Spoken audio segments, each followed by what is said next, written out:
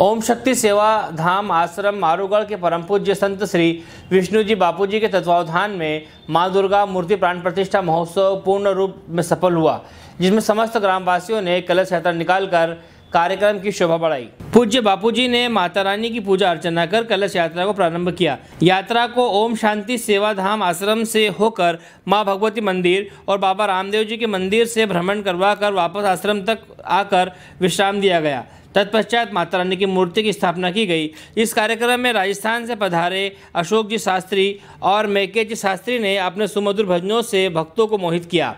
तत्पश्चात विशाल भंडारे का आयोजन भी किया गया, जिसमें समस्त ग्रामवासियों और आश्रम के गुरु भाइयों ने भक्तों को भोजन प्रसादी ग्रहण करवाई।